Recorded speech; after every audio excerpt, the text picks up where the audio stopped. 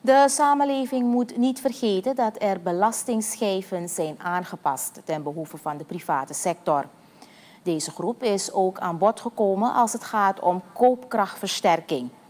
Dit zei president Chandrika Prasad Santokhi gisteren op de openbare vergadering in de Nationale Assemblée. Het staatshoofd zei dat er geduld betracht moet worden, omdat er meer positieve ontwikkelingen volgen.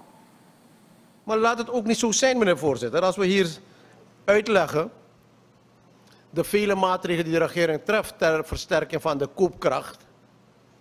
En dat er nu opmerking gemaakt uh, wordt van, ja, maar wat gebeurt er met die private sector? We hebben toch die solidariteitsheffing, meneer de voorzitter, die ook geldt voor de private sector. Die hebben toch al laten verlopen begin dit jaar. Dus zij betalen ook niet meer. Ze hebben nu ook meer inkomsten.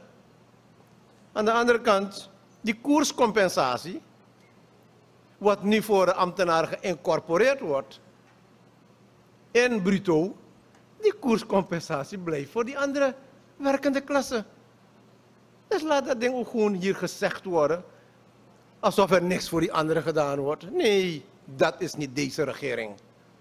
Maar natuurlijk willen we meer. Santoki zei verder dat genoeg bedrijven in de private sector de ruimte hebben gehad om meer te doen voor hun werknemers. De bedrijven willen gemotiveerd personeel en zij krijgen de ruimte om te werken aan hun koopkrachtversterking. Nogmaals, we zijn nog niet eens uit die COVID. We gaan langzaam helemaal uit die financiële crisis. Dus ook daar komt er rust. Meneer voorzitter, heer Mustaja,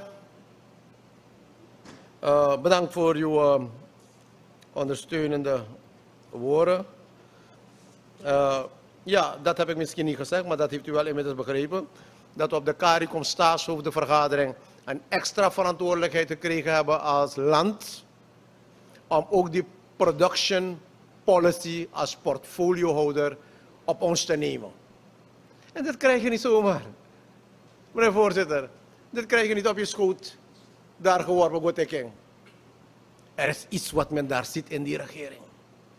Er is iets wat men daar ziet in het land. En men wil jou die leading rol geven. Santoki gaf aan dat hij de rol binnen CARICOM-verband heeft geaccepteerd. En dat hij een team zal instellen speciaal om de productie te bevorderen. Dit orgaan zal ervoor moeten zorgen dat Suriname het voortouw neemt als het gaat om leiderschap op dit gebied.